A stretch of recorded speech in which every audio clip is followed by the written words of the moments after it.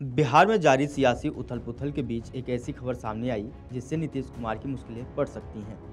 सूत्रों से मिली जानकारी के अनुसार, लालू प्रसाद यादव की पार्टी ने जीतन राम मांझी को राज्य का मुख्यमंत्री बनाने की पेशकश की है। जीतन राम मांझी हम पार्टी के नेता हैं और उनकी पार्टी के पास विधानसभा में चार विधायक हैं, जबकि आरजेडी के पास सबसे अधिक उन्यासी विधायक हैं। जीतन राम मांझी बिहार के सीएम भी रह चुके हैं।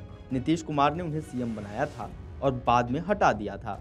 इस पर हम पार्टी के प्रवक्ता दानिश रिजवान ने कहा कि अगर वो प्रधानमंत्री पद का भी उम्मीदवारी दे दें तो हम उनके साथ नहीं जाएँगे। हम प्रधानमंत्री नरेंद्र मोदी के साथ हैं और रहेंगे। उन्होंने दावा किया कि कुछ घंटों में बिहार में बड़ा बदलाव हो जाएगा।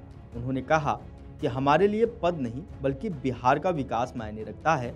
हम एनडीए के साथ एकजुट हैं और हमारे विधायक भी एक साथ हैं।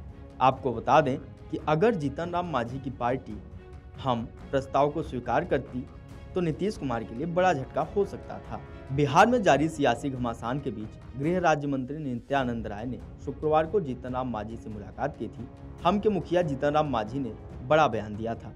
उन्होंने कहा कि राजनीति में कोई किसी का दोस्त नहीं है और कोई किसी का परमानेंट दुश्मन नहीं होता।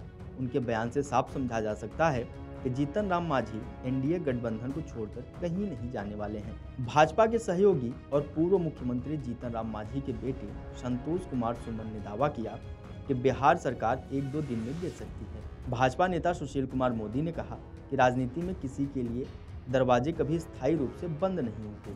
अगर दरवाजे समय आने पर खुलते हैं, लेकिन वो खुलेंगे या नहीं, यह हमारे केंद्रीय नेतृत्व को तय करना है।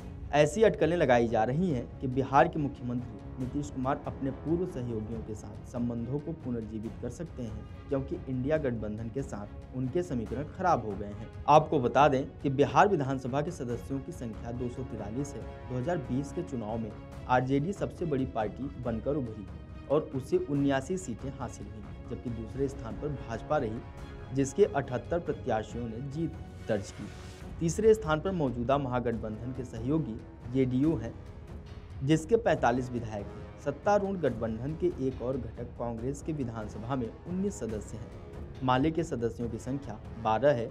एनडीए के घटक, हम के चार विधायक हैं। वामपंथी पार्टियों में सीपीआई के दो और सीपीएम के भी दो विधायक हैं।